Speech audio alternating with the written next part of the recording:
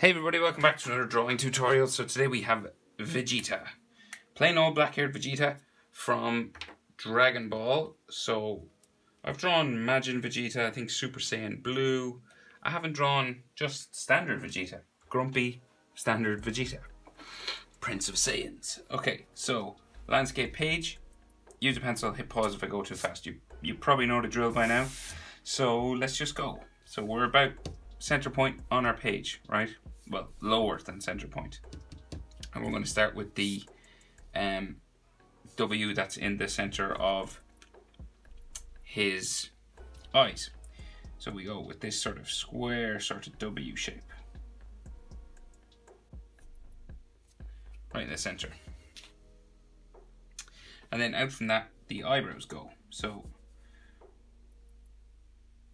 take diagonally going this way. And then we have a box like end. And then we go down the other way. And we gradually want to get a bit skinnier as we go down. Okay? And then it curves up into there. Of course they're they're black colored in so I'll do that when I draw the other one. So we'll do the other one, might as well. So curves up, and we'll tick it up, going this way, like that. And the skinny other end goes up to the box-like end back here. Like so. Now we can color them in dark. And sometimes Vegeta will have those lines just on the edge, edge of his eyebrows. You know, just before they go up to meet his sideburns and stuff. But his eyes now, so standard Dragon Ball eyes. So to do them, you just do a small line there, and then a diagonal longer line here. And then we join them together with a curved or straight line. You could you you could be straight or curved. It's up to you. And then his eye half circle underneath his eyebrow. Just there. And they're black. He's not Super Saiyan or anything, so you can just color them in black. Do the same thing over the other side. So, small line, just there close to his nose. And then the longer line over here, just close to the end of his eyebrow. And then bring this over. Like so. And then his half circle iris just there and color it in black.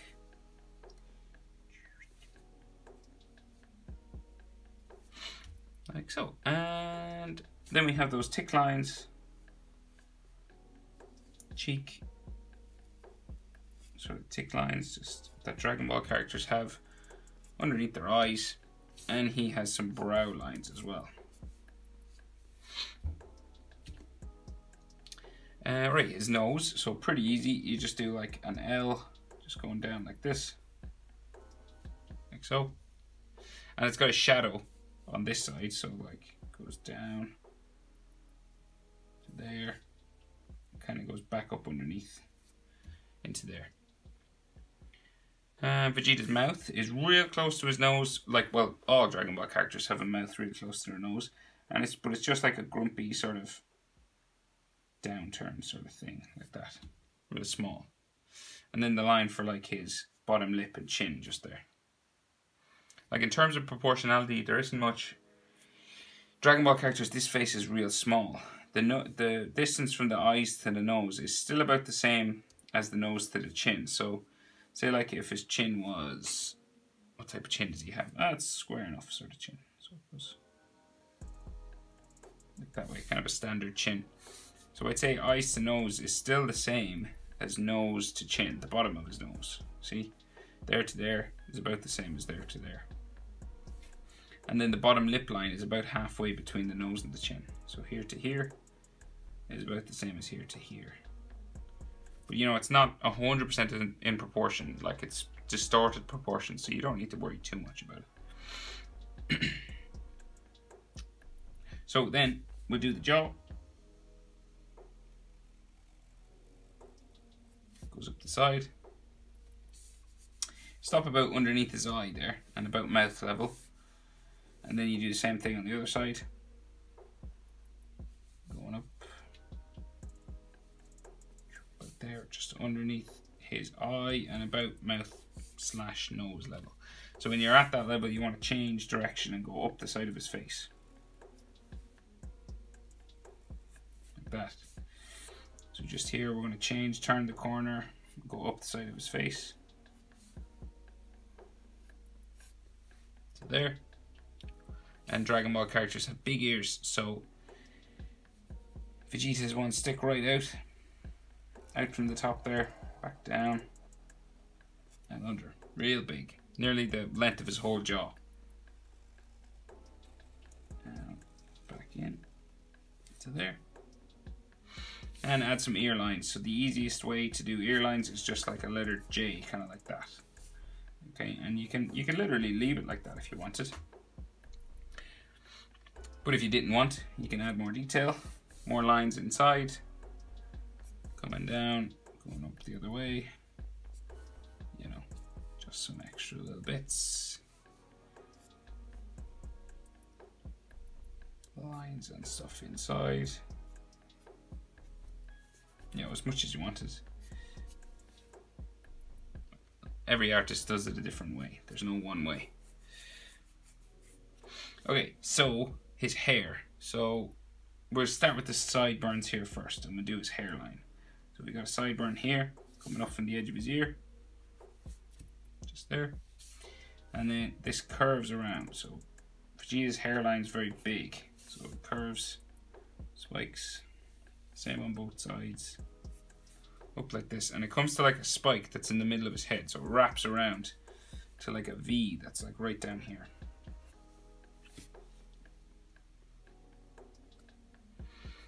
Okay, so we're going up and around. So we'll go up. It kind of turns around here. And then comes down to that V. Terms of proportion, like, so the eyebrow, say the top of his eyebrow here to the hairline is about the same as the eyebrow to the chin. Okay, top of the eyebrow now. So here to chin level is about the same as here to hairline level, approximately. And you do pretty much the same thing on the other side. So you just go up, over, and down there.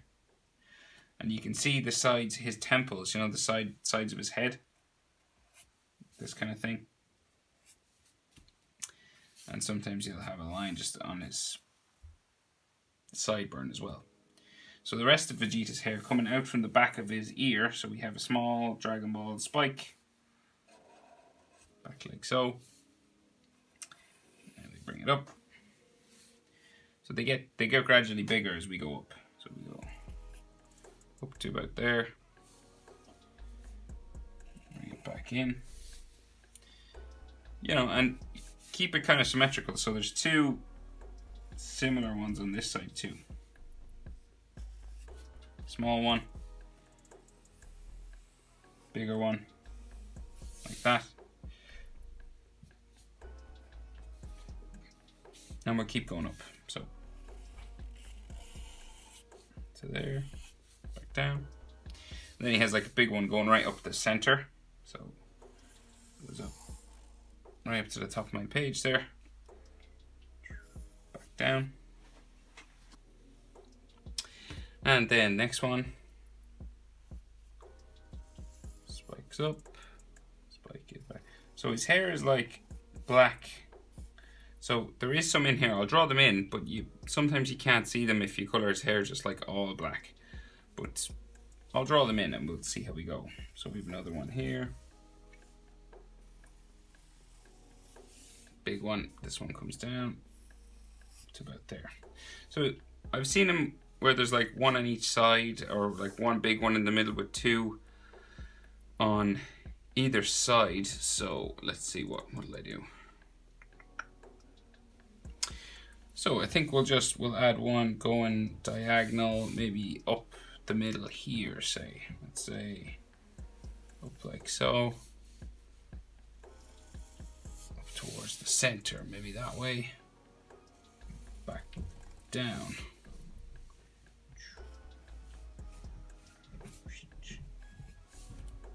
Somewhere down there. Like that maybe. And then maybe we'll bring this line just down a bit further down to there. That probably makes a bit of sense.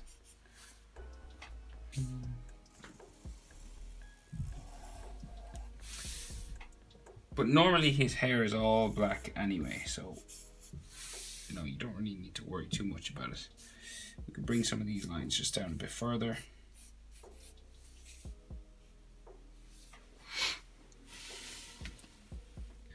Yeah, that's not too bad. Okay, so his neck. So we do his neck coming down here from his ear. Neck coming down the other side. Just there. And trapezius muscle. So neck muscle coming diagonal that way. And diagonal that way. On both sides. And then we have his t-shirt. So comes around the collar of his shirt big U shape. Comes around up and underneath to there, like so. Up and down around. So that goes in behind his back, just there. Neck muscles inside. So curves down like so, diagonal sort of line, curves down like that. Maybe like Adam's apple sort of lines just there and his chest. So we have like his clavicle just in the middle and his chest comes across like so. Chest comes across like that. And some more anatomy. So some more like neck muscles here. Like so. One comes down like that. You know, maybe some trapezius sort of lines just going that way. Some more neck muscles stuff like that. Right, so he's he's got his arms folded, right? So he's some arms folded across the front of his chest, right? Right, so the rest of his shirt, so it comes down across like this. Comes up like so. These are like fold lines for his t-shirt, just there. And then this will come down around his shoulder, just there. Okay, same thing on the other side pretty much. You do a couple of bumping, kind of fold lines just here for where the fabric folds around his shoulder. This kind of thing again. And then the inside will go down to here.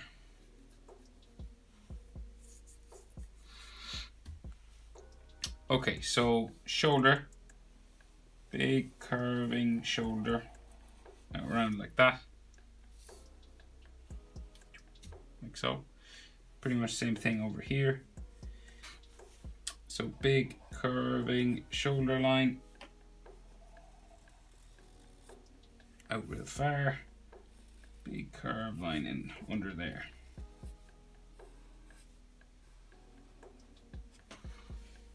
Okay, so like two just balls sticking off the side of his body, just there like that. And then we can see some of his tricep just going down, bumping out like this, down off the bottom of my page. Same over here, like so. And then his arms are folded, right? So we've we can see one bicep, one full bicep here. So it just comes down like that right? And the other side of that bicep just goes down off the page there. And then there might be some extra shoulder muscle lines just here, like so. And right, so then like his wrist is going in there. So if you fold your own arms, if you fold them, you can see one wrist goes into one armpit, like into your armpit, and the other fingers are on top of the other bicep, right? So that's what we'll do for him. So this is his wrist, right? So you got those white gloves on, So the wrist comes down like so. And then kind of curves around for the glove part. And then his forearm comes out from the glove, right? And like maybe some extra sort of folds just here for his wrist that's going in that way. So the bicep, the other bicep goes in underneath his fingers. So if you fold your arms, you'll see that your fingers rest like on a bicep, right? So let's say so fingers and then like the other side of the bicep, say here. Okay, so this gap has fingers in it. So like one, two, three, and an index finger, the last one, just there, okay? And these just each have a top, so they down.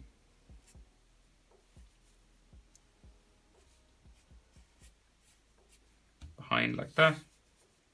Maybe some fold lines here and some knuckle lines just on the top of the glove. Similar thing going on like here.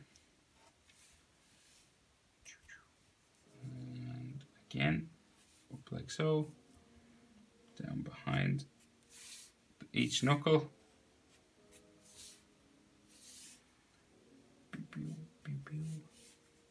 And the next one just on top here. Some knuckle lines there and there. And then some like shoulder lines again on that shoulder, similar to the other side. Doesn't have to be exactly the same, but just sort of sinewy shoulder lines. And then maybe like the fold line underneath his t-shirt here. Maybe another one there, armpit, fold lines like that. Here. Boop. And I think that's it. Yeah. Maybe like a wrist line or something coming out of his glove. There you go. How to draw Vegeta in his normal black haired form. Hope it was helpful, guys. Thanks for watching. I'll see you in the next video.